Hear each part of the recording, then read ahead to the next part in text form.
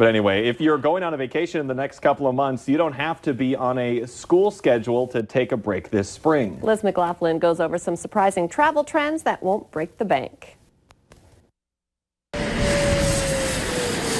More adults are taking a spring break from work. Millennials in particular, according to a rise in traffic on travel apps, including Hopper. Millennials have said that they value experiences over physical goods.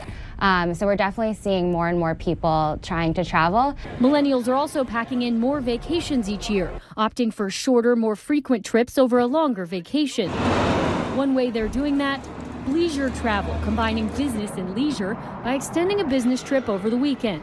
By doing that, they save the employer money because the flights are often cheaper uh, coming back, and then they can have basically a free vacation. Florida hotspots and beach destinations may come to mind for spring breakers, but more people are opting for international travel ahead of the busy summer season. Paris, London, they're in the top five for um, most track destinations. Taking bigger trips in part because it's more affordable to get there. It's actually the lowest it's been in three years in terms of flight pricing. You'll have to plan ahead to get the best deal. Prices shoot up around 40% in the two weeks before departure. But when booking your hotel, procrastination can pay. If you're flexible, if you can be spontaneous, um, you can get rewarded with really fantastic deals. The hotels work the exact opposite of flights, so the more you wait, the more you save. According to Hotel Tonight, the lowest prices are the day of check in, if you can wait that long. Liz McLaughlin, NBC News.